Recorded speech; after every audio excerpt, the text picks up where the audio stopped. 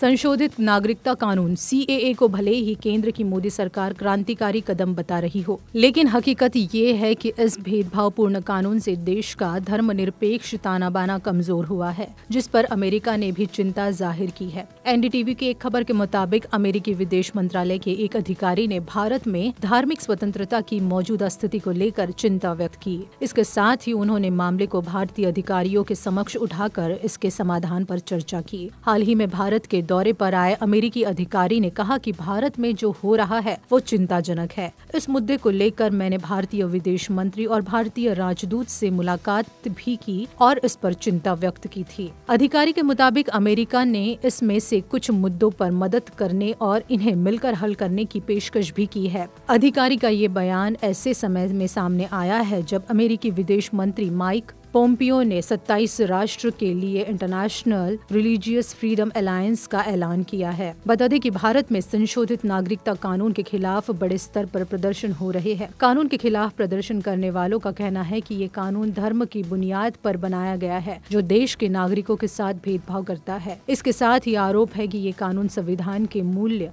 सिद्धांतों को भी चुनौती देता है संशोधित नागरिकता कानून सी में पाकिस्तान बांग्लादेश और अफगानिस्तान से भारत आए हिंदू हिंदू सिख बौद्ध जैन पारसी और ईसाई समुदाय के लोगों को भारतीय नागरिकता दी जाएगी जबकि मुसलमानों के लिए इस कानून में कोई प्रावधान नहीं है